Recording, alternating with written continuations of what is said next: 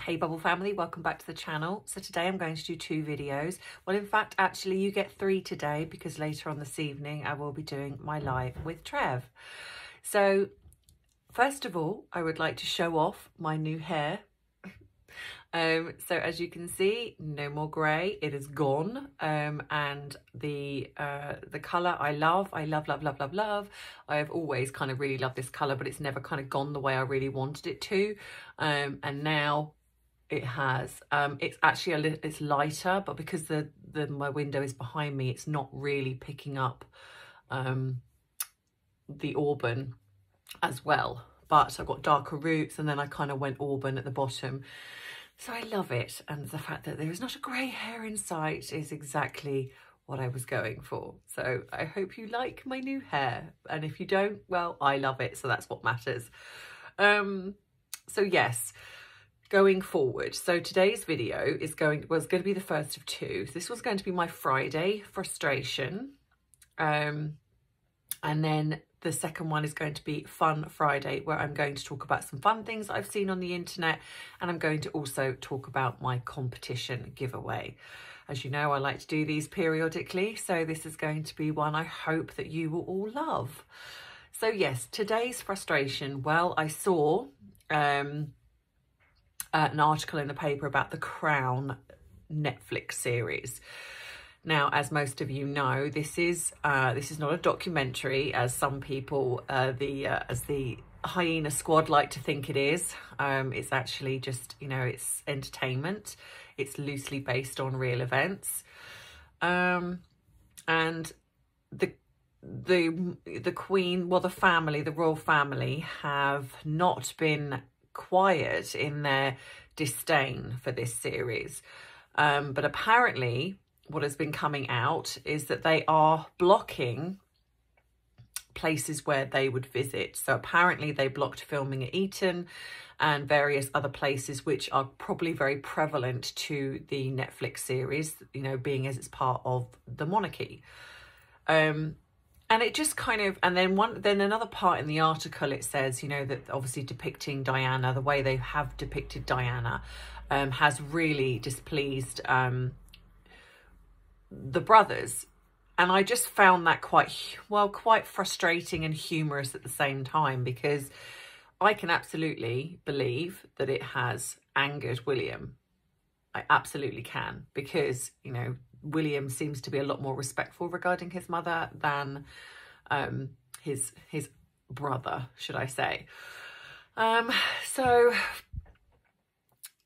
I just thought, you know, it's funny how these articles that come out, they really still try to act as though Harry would be upset with the new portrayal of, uh, you know, of, of his mother. Um, and I and I just I was just like that, that just no because you you know at the end of the day he signed with Netflix. If he was that unhappy about the way his mother was being depicted, then he would have said something. He would have been able to say something, or he would have said, "I'm walking away." You know, he's openly stated on when he spoke to Oprah that he watched the series. Um, so why would you give it, why would you give it, you know, that revenue? You know, why would you give it your endorsement? Because that by publicly saying, you know, it's it's publicly endorsing it in a way. Um, so it just I just felt frustrated because I just thought, well, you know what?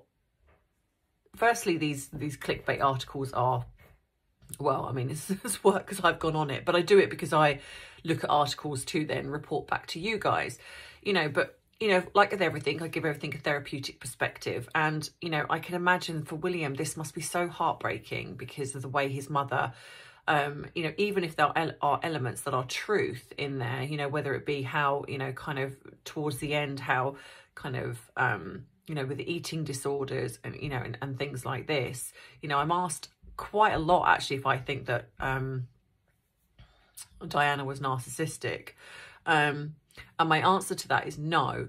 Now, did she have narcissistic traits? I think all celebrities do. I think I actually think a lot of people, even influencers on YouTube and, and stuff like that to a degree, we all can show an element of narcissism because we care about what we look like. We care about what the what people say in the comments. You know, we um you know, we can base a lot of things on superficial aspects. Um, and this is nothing different, you know, in celebrities, nothing. And I, and I would absolutely suggest that Diana was not any different. You know, she did care about how her image was portrayed.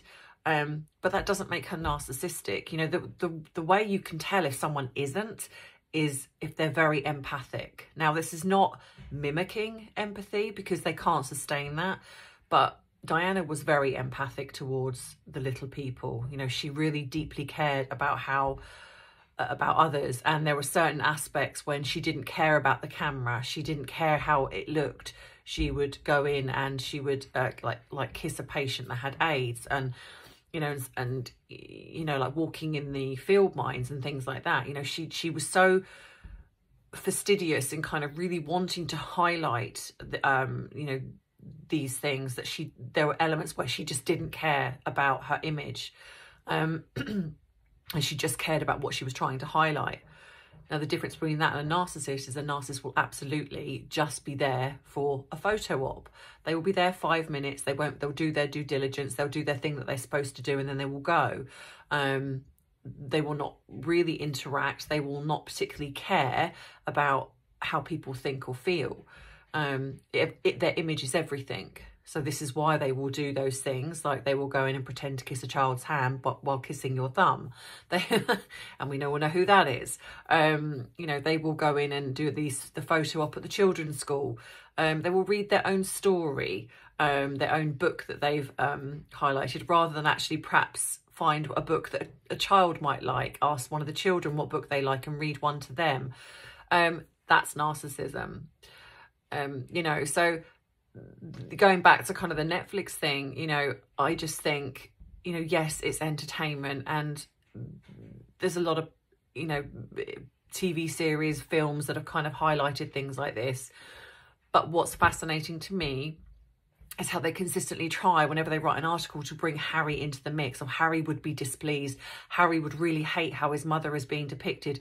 Well, clearly, no, he doesn't because he doesn't step up. He doesn't say something. You know, when Netflix aired Cuties, he had a perfect opportunity to say this is this is degrading towards, you know, children. You know, this is this is unacceptable. Um, we don't want to be associated with a company that thinks this is okay.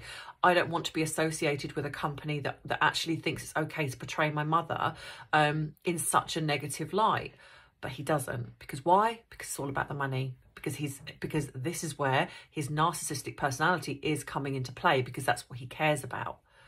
Um, and then of course along with his wife, you know, it's got you know I'm going to do everything my wife kind of says type attitude.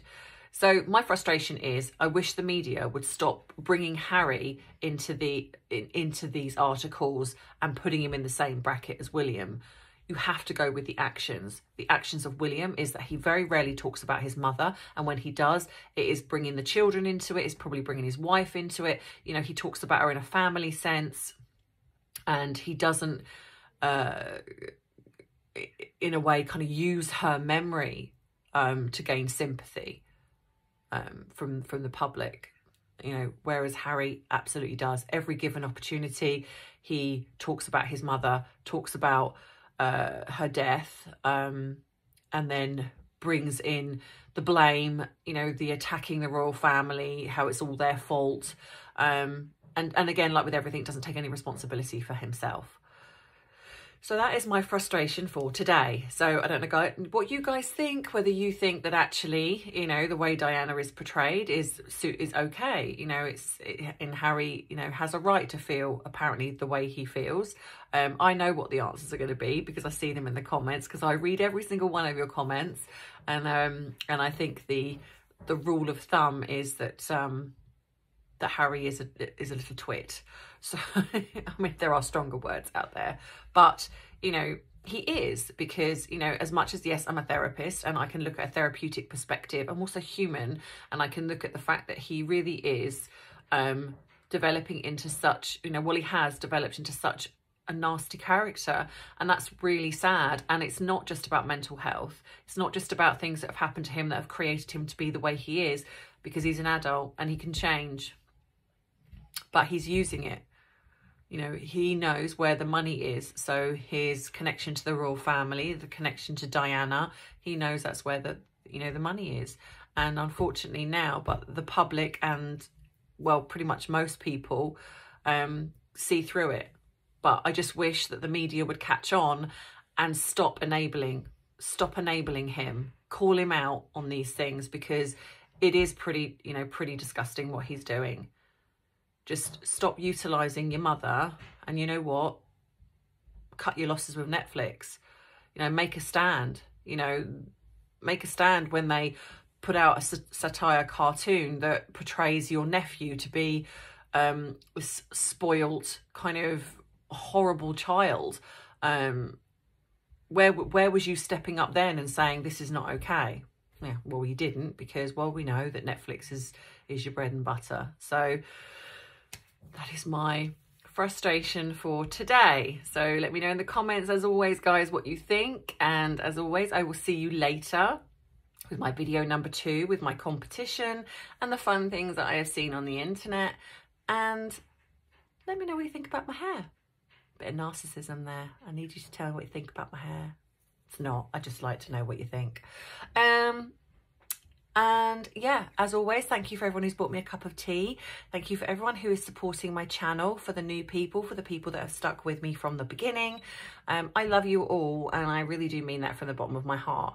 I will see you all in the live later with Trev at 7 p.m. So if you have nothing better to do, please come join us. And if you miss it, you can watch it on the replay. Um, so yeah, that's it for me for this one. And I will see you in a bit. Bye, Bubble Family. Mwah.